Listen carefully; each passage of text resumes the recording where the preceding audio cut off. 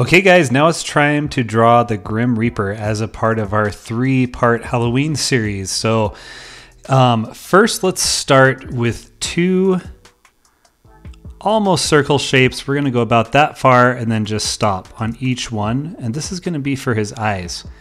And then what we'll do is we'll create kind of this angry eyebrow that goes on the top. So just draw a line down from the inside and then bring it over. And then on each side, we're gonna just add a little line like this to kind of give us some depth and then color in those sides dark. Now in the middle, we're gonna do a little triangle. I'm gonna make it kind of rounded on the corners. That's for the nose. And then now on the side, so the side, we're gonna go down and curve and stop right there. And we'll do that on each side. So kind of bring it down and curve in. And then because he's got the skeleton, we're gonna just draw these little bumps, kind of like the bottom of the ghost and bring it up just like that. Okay, now on the top, let's just do kind of a little tent on each side and then bring those all the way down around to his teeth, just like that.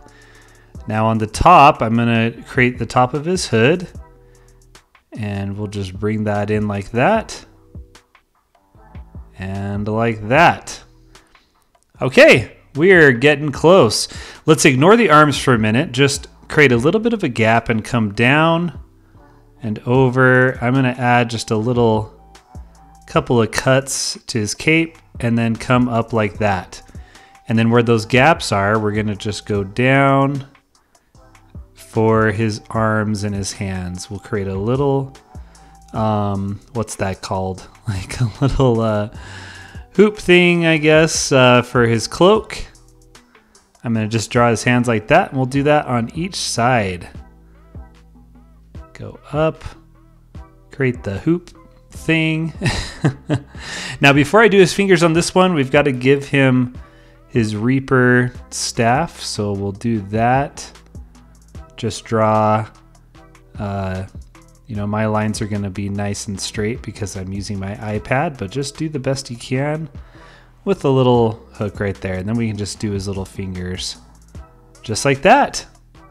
Okay, we've got the Grim Reaper done um, as a part of our three character series. Now just go ahead and click on the ghost or the pumpkin, whichever one you want to draw next, and we'll get going on them.